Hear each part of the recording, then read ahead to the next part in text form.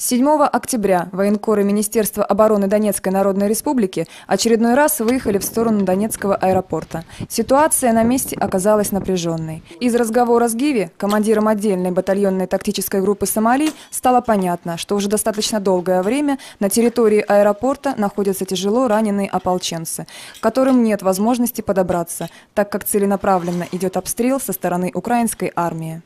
Реально видят, что раненые лежат пацаны. Реально видят, что мы пытаемся их вытащить, просто вытащить. Без атаки, без ничего. Понимаешь? Вот только выгнали коробочку, уже решили с коробочкой взять. Открыли артобстрел. Все прекрасно сам. Ну как ребят наших вытащить?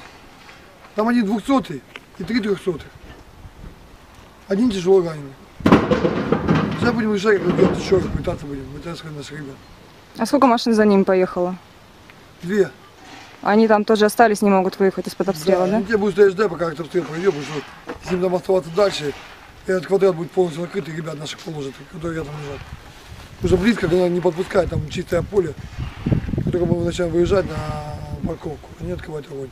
А с танком какая история? Мы видели, он поехал тоже за ребятами. Нормально все с танком, он просто стоит, наблюдает, пытается понять, откуда ведется огонь, и он будет работать на подавление, чтобы сам, сам себя не выявить и при этом найти точку противника, откуда ведется огонь. Мгм. По данному месту, где находятся наши ребята раненые. Ну вот те ребята, которые на танке поехали, их прикрывали, да? Да, это я ездил сам лично. И прикрывали, и танк остался там для того, чтобы работать на подавление.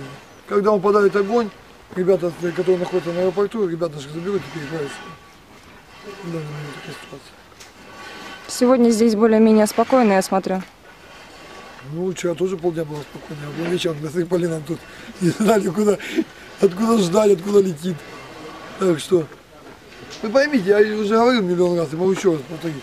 Заберите у них установки ГРАД и всю остальную тяжелую артиллерию, они перестанут воевать. Им просто не станет неинтересно. Вот и все. Если мы умеем воевать и артиллерией, и пехотой, то они умеют воевать только артиллерией. И то, как воевать. Разрушать наши города, как-то не очень приятно. Вот, значит, извините.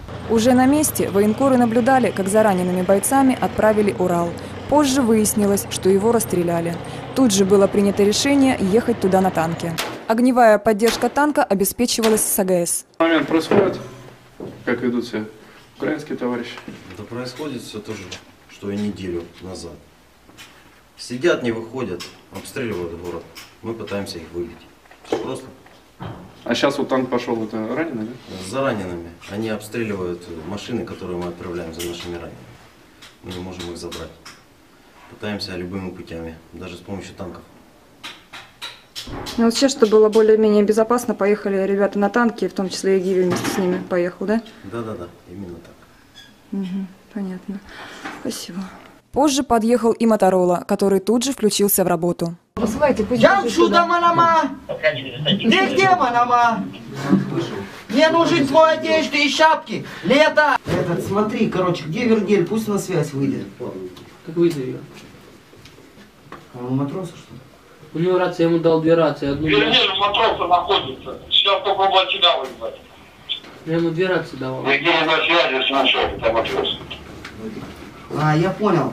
Этот,